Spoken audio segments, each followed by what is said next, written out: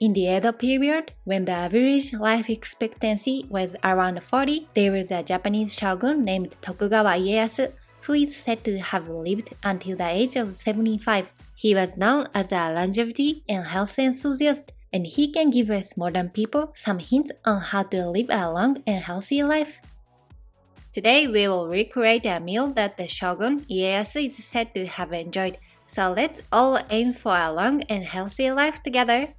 First, let's prepare 2 go of rice and wash it thoroughly this is optional, but I like to soak the rice for about 10 minutes to remove any unwanted smells. Rice can easily absorb the smell of its surroundings. I'll discard the water and use fresh water later. When researching the foods that supported Shogun's health and longevity, two major keywords emerged barley rice and soybean miso. Let's start by making the barley rice. This is rolled barley. It's my first time buying it. It seems similar to the raw material for oatmeal, but with some differences. As you all know, oatmeal cooks quickly and can be eaten immediately after a light boil or with milk. However, rolled barley takes longer to cook, so it needs to be cooked together with rice. Now that we've soaked the rice, let's change the water. I like to use fresh, clean water for the best result. I'm using a 2-go rice, so I'll add water up to the to-go line. That's about 200 ml of water. Next, I'll add 45 gram of rolled barley to the rice cooker. We need to add some extra water. I'll add 90 ml of water for the barley. Let's give everything a gentle mix. Then we can close the lid of the rice cooker and cook the barley rice on the regular setting I usually cook rice on the quick cook setting for 20 minutes and that worked well for the barley rice too. Now let's make the shogun's favorite meat dish. In a time when soybeans were the primary source of protein, Shogun was known to actively incorporate meat and fish into his diet. This reflects his commitment to maintaining a healthy and balanced diet. In this recipe, we will use soybean miso the second keyword in this video to create a delicious and savory marinade for our meat. Today we will be using boneless, skinless chicken breast. Cut this into thin slices so that it can be easily cooked. Interestingly, it's said that in Ieyasu's time, pheasant and crane were often roasted on skewers and enjoyed with a miso glaze. Let's make a miso sauce here.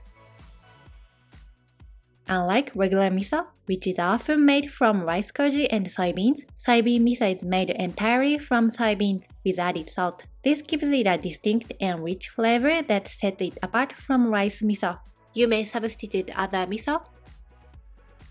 Put 1 tablespoon soybean miso. Add mirin and sake to the miso. These ingredients will help to balance the flavor and create a smooth marinade. One key ingredient in a marinade is ginger. By adding ginger, garlic, sesame, and other ingredients to the already health-boosting soybean miso, we can further increase its nutritional value. Those combination is believed to have supported Shogun's health by preventing high blood pressure and diabetes and promoting fatigue recovery. Finally, let's mix everything together until well combined. Interestingly, this type of miso is primarily produced in Aichi Prefecture. It's no surprise that Ieyasu, who hailed from Okazaki City in Aichi Prefecture, developed a fondness for this local ingredient. Within Aichi Prefecture, the Okazaki region is particularly renowned for its production of Hatcho miso, a unique brand of soybean miso. This spice miso is made using traditional method and boasts a rich, complex flavor. Now let's add the chicken to the flavorful marinade. Gently massage the chicken pieces to ensure they are evenly coated in the miso mixture. Cover the marinade chicken with plastic wrap and refrigerate for 20 to 30 minutes. This allows the flavor to develop and permeate the chicken now let's move on to recreating Shogun's favorite miso soup. Let's prepare the vegetables. We'll need gobo, burdock root, daikon radish, and green onion. We'll also add some meat later for extra protein. This soup is a great way to incorporate vegetables and protein into your diet. By adding root vegetable and seasonal vegetables, you'll be getting a good dose of fiber and nutrients that will keep you feeling full and satisfied. Feel free to experiment with different vegetables based on what you have in your fridge. This recipe is versatile and can be adapted to your liking. Since gobo is a tough vegetable that takes a long time to cook, we'll slice it thinly and into small pieces. This will help it cook evenly and make it easier to digest. Gobo can turn brown easily, so we'll soak it in water to prevent that. This komatsuna will be our miso soup topping. It adds a beautiful pop of color and extra nutrients. In the Edo period, duck or pheasant meat was used in this recipe but we'll be using chicken wings to make it more accessible for home cooks. Season the chicken with salt and pepper. Adding chicken to the soup really enhances the flavor and takes it to the next level. Heat some oil in a pot and start by browning the chicken on all sides. We want to get a nice crispy skin with a little bit of char on it. Once the chicken is cooked on one side, flip it over and add a vegetable and water. This recipe is for two servings. Let's simmer the dish until the gobo and daikon are tender once it comes to a boil, reduce the heat to low. Let's make a side dish. Today we will be using nanohana. Nanohana is in season right now and it's a delicious taste of spring. Apparently, nanohana was also a popular food during the Edo period when Ieyasu was in power. Look, there is a flower in bloom. My husband says we should save it to decorate with instead of eating it. He did some research and found out that while the nanohana flowers are not poisonous, they can be bitter. After washing them thoroughly, we'll blanch them in boiling water for 1 minute. Nanohana can be difficult to find outside of Japan, so feel free to substitute spinach or other leafy greens in this recipe. The key is to rinse with cold water immediately after draining hot water. Let's check on the miso soup. The vegetables are tender, so it's time to add the miso paste. We'll use soybean miso again.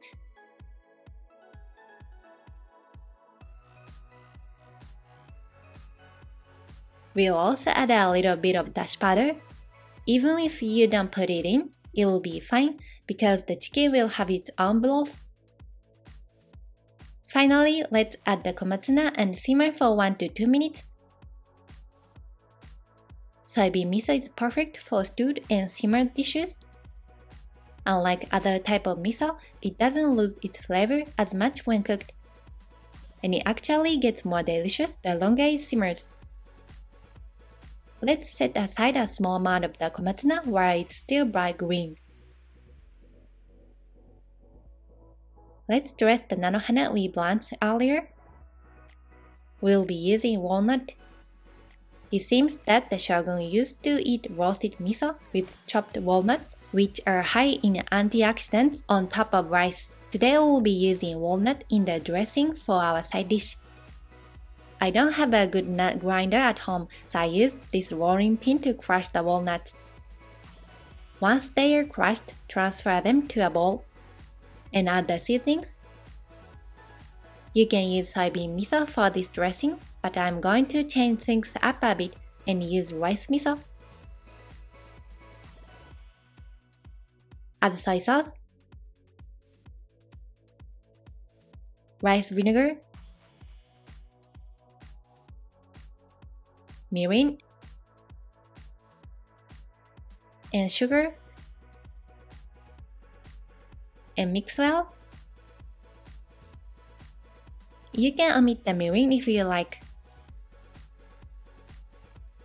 The walnut might be tastier if they were crushed even finer, but at this size, you can enjoy the texture of the walnut.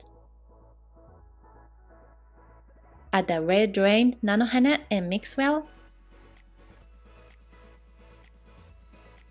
Taste and add a little bit of salt if needed. The combination of vinegar and miso is delicious, so I encourage you to try it with various vegetables. The chicken has marinated, so let's cook it. Miso can burn easily, so let's scrape it off the chicken before cooking. Heat some oil in a fry pan and cook the chicken over medium heat. Be careful not to burn it.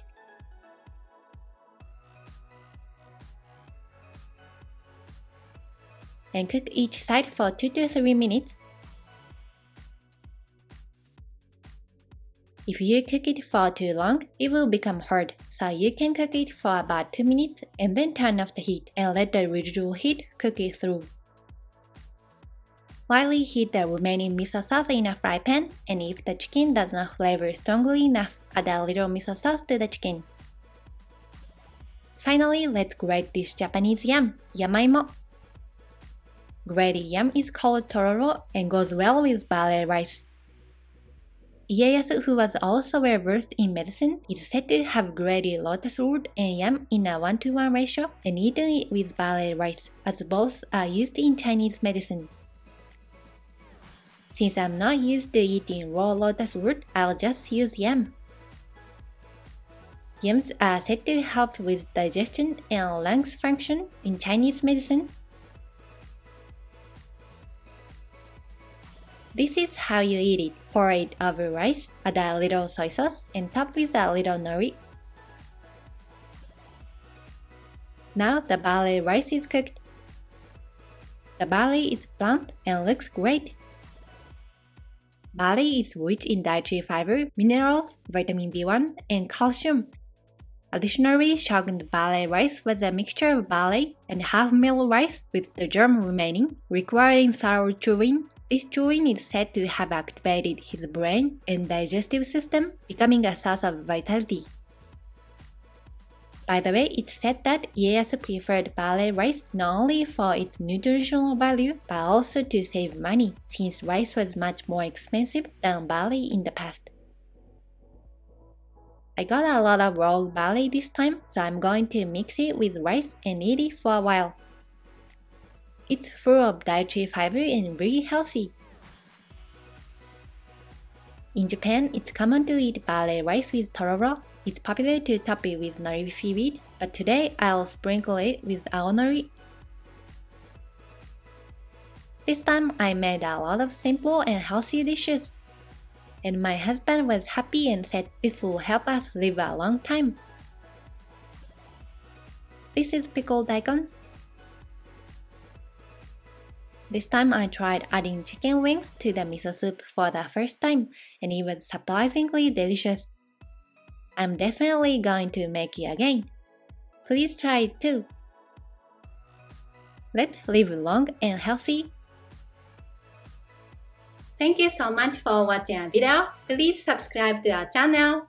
If you are already a subscriber and would like to support our channel, please join our membership Membership feedback will be reflected in content creation. See you in the next video.